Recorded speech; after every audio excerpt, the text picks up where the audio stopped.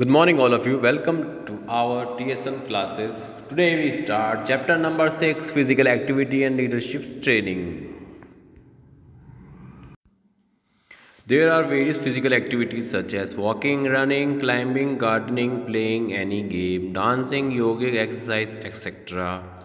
Physical activities में कौन कौन सी चीज़ें आती है जैसे कि वॉक करना रनिंग करना क्लाइंबिंग गार्डनिंग करना प्लेइंग करना और यानी गेम डांसिंग योगा एक्सरसाइज जिसमें आपका इंटरेस्ट हो। Which provide courage as well joy to the participate those individual who take part in such physical activities get ample opportunities to develop leadership qualities it's can be stated such activities are helpful in providing leadership training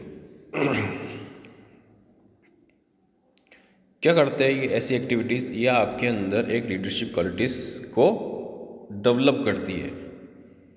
It's can be stated activities are helpful in providing leadership training ये ऐसी activities आपको किसमें मदद करती है? Leadership training provide करवाती है। जिससे कि आप एक कोई टीम या कोई मैनेजमेंट के ऊपर काम कर सकते हैं वर्क कर सकते हैं। Leadership qualities are and role It is well known that fact that no individual are like. There is always a degree of difference among individuals in terms of qualities, aptitude, skills. एक तरीके से degree difference among क्या है इसमें quality होनी चाहिए leaders में जो होती है क्वालिटीज होनी चाहिए जैसे कि स्किल्स होना चाहिए क्वालिटीज होनी चाहिए these individuals difference force people to adopt the path of a leader और पाथ ऑफ़ फॉलोअर्स जो उनके फॉलोअर्स हैं, वो उनको फॉलो करना चाहिए। Leadership has excited from the beginning of evolution of human life this feature can also see in the world of lower animals in fact the upliftment of a society depend upon the qualities of leadership available to it the following definition may be helpful to know the actual meaning of leadership ये नीचे definition दे रही है। अलग अलग लोगों ने अपने definition दिए। ये लीडरशिप का मतलब होता है, वो किसी भी चीज़ में आप देख सकते हैं, चाहे वो एनिमल्स में हो, चाहे वो किसी मैनेजमेंट को लेके हो, चाहे वो गेम्स हो या टूर्नामेंट हो, या कोई टीम का एक लीडर होता है, वो हो वो आपको क्या गाइड करता है। अपन पढ़ेंगे Montgomery the capacity and will to rally man and women to a common purpose it's call leadership Leadership is the behavior that affects the behavior of the people more than behavior affected of the leader. Leadership एक ऐसा behaviour है जो किसको लोगों को affect करता है कि आप कैसे हैं क्या है लीडर जब आप बनते हैं जब आपका अफेक्ट और आपका रहन सहन कैसा है कैसा बिहेवियर है दूसरों के प्रति In simple word, leadership may be defined as the quality of a person lead others in various aspects of life. Next page, leadership is the ability to international internet intentionally provided positive influence on the lives and behavior of others. The leader should possess qualities that are sought for and admired by follower. A leader must initiate an activity activity under the group's needs and carry the activity to completion. Thus, the leader is said to give so lead make acceptable suggestion show the right path act act as a model of are others influence people to work together in the achievement goal किसी भी चीज़ को पाने के लिए आपको क्या करना पड़ता है? कि आपको जो है सजेस्ट करना पड़ता है। शो द राइट पाथ आपको हमेशा सच्चे पाथ पर लेके जाता है। वही आपका ट्रू लीडर कहलाता है। Influence people to work together in achievement of goal कब अपन किस चीज़ को अचीव कर सकते हैं, किसी गोल को अचीव कर सकते हैं, जब हम ग्रुप लीडर से ग्रुप के अंदर डिस्कशन करके कुछ चीज़ को प्लानिंग करते हैं सजेशन लेते हैं तो उससे आपका जो वर्क है इजी हो जाता है और आप जो गोल अचीव करना चाहते हैं वो इजी वे में हो जाता है। Leadership is is needed in every profession सभी में लीडरशिप का ज़रूरी है लीडरशिप होना ज़रूरी है। कोई सा भी प्रोफेशन हो in the field of physical education leadership is also required to ensure continuous growth and vitality vitality of the profession leadership किसके लिए रिक्वायर्ड होती है? कंटिन्यूस ग्रोथ के लिए।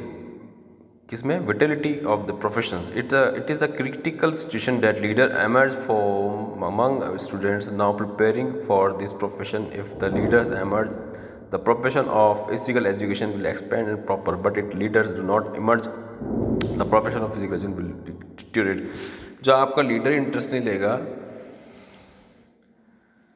तो क्या होगा? The leadership is the art of influencing people to work together harmoniously is the achievement profession as well as personal goal quality of a leader क्या होता है? Quality of a leader energetic होना चाहिए फ्रेंडलीनेस इन affection affection वाला होना चाहिए अच्छा friend का मतलब उसका नेचर ऐसा होना चाहिए और अफेक्श डालने वाला कि आपके, उसके ऊपर प्रभाव पड़े। डिसिवनेस होना चाहिए जिसका निश्चय किसी चीज़ को लेना। A leader in the field of physical education should be decisive. It means should be have the ability to take decision कि भाई ऐसी सिचुएशन आ जाए जिसमें आपको हार का खतरा हो या कोई जान, जो कोई ऐसी क्वालिटीज़ हो जिसमें आपको भिड़ना पड़े।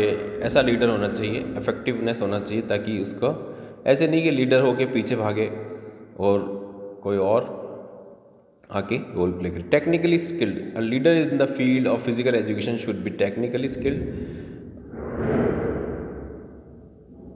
he should be an expert is in is discipline and specialisation technically skill होनी चाहिए। अगर उसके अंदर टेक्निकली स्किल्ड नहीं होगा, किसी चीज़ को जल्द से जल्द टेक्निकल स्किल का मतलब होता है किसी चीज़ को शॉर्ट फॉर्म में करना और इजी तरीके से करना और स्किल दिखाना। अपने अंदर जो स्किल होती है should be an expert in discipline and specialisation उसके अंदर एक ऐसी क्वालिटीज़ होनी चाहिए कि वो एक डिसिप्लिन बना के रखे और स्पेशलाइजेशन को बरकरार रखे। इंटेलिजेंट होना चाहिए टीचिंग स्किल अच्छी होनी चाहिए। A leader in this field should have deep knowledge of various teaching skills now physical education taught in classroom is a subject जैसे मैं पढ़ाता हूँ। तो मुझे इस, अगर बिना इसको पढ़े या बिना इसकी इसको रीडिंग किए हुए अगर इसकी नॉलेज नहीं होगी तो मैं किस सब्जेक्ट को कैसे पढ़ा पाऊँगा? So it should be effective in various teaching method मैं अपने कोई नए नए वेरियस टीचिंग मेथड यूज़ करूँगा जिससे आपको ये चीज़ें समझ में आए। Along with this he should be able to use body language gesture expression it क्या होता है? हम किस चीज़ का यूज़ करते हैं? बॉडी लैंग्वेज होती है एक तो पर्सनैलिटी होती है, एक होती है कि लैंग्वेज कैसी है, आपका जेस्चर कैसा है एक्सप्रेशन कैसे हैं, आपको बोलते वक्त आपका जो हैंड है हैंड मूव हो रहा है, या आपका एक्सप्रेशन ऐसा है कि आप पढ़ाते वक्त कितना अच्छा इम्प्रेशन से पढ़ा रहे हैं, ऐसे बोर तो नहीं कर रहे हैं सामने वाले को। Creative a leader in the field of creative mind होना चाहिए। किसी भी चीज़ को क्रिएटिव करना मतलब किस क्रिएटिव माइंड का यूज़ करना। हर एक इंसान में क्रिएटिवनेस होता है तो leader can be produce new technique और आइडियाज़ वो क्या करता है कि नए टेक्निक को बताता है, क्योंकि लीडर की क्वालिटीज़ होती है, क्योंकि वो बहुत एक्सपेरिमेंट एक्सपीरियंस होता है होल्डर होता है तो वो अपनी क्वालिटीज़ अपने ही टीम वर्कर या ग्रुप वर्कर को बताता है, ताकि कुछ काम ईजी गोइंग हो जाए, या कोई काम ईजी गोइंग या कोई गोल या कोई हम एम उसको ईजी तरीके से ईजी या हार्ड वर्किंग करके स्किल दिखा के उस लक्ष्य को प्राप्त करें। Creative leader is a creative हो गया क्रिएटिव तो? इंटरेस्ट इन रिसर्च रिसर्च करना किसी भी फ़ील्ड में, किसी भी चीज़ के अंदर रिसर्च करना। It is significant quality of a leader in the field of physical education he should have keen interest keen interest in research work research work में इंटरेस्ट होना चाहिए उसका। No profession can be uprated without appropriate research कोई भी ऐसा profession नहीं है जो आपको बिना रिसर्च के ऊपर ले जा सकता है। In fact this quality is the need of the hour Nowadays, many problems are confronting the, this profession. Solution to such problem can be sorted out through research. ज़्यादातर प्रॉब्लम है हम रिसर्च के थ्रू ही sort out कर सक कर लेते हैं good health होनी चाहिए बॉडी पोस्चर अच्छा होना चाहिए अगर एक लीडर की अच्छी बॉडी होगी लॉन्गर ड्यूरेशन तक वो गेम खेलेगा तो और उसको थकान महसूस नहीं होगी तो वो अच्छा लीडर कहलाता है अगर उसको थकान होती है और अपने मतलब हेल्थ के हिसाब से तो फिर उसको रिटायरमेंट लेना चाहिए या फिर उसको वो जॉब छोड़ देनी चाहिए। डेडिकेशन एंड डिटर्मिनेशन डेडिकेशन होनी चाहिए किसी चीज़ को प्राप्त करने के लिए। निश्चय करना चाहिए। एक एम टारगेट होना चाहिए। Dedication determination are vital qualities of our leader this professions he should have from determination he should be determined to face even frost situation जो फ्रॉस सिचुएशन होती है, उसमें वो कैसे अपने आप को ढालना, ढाल लेता है, उसको कैसे फेस करता है।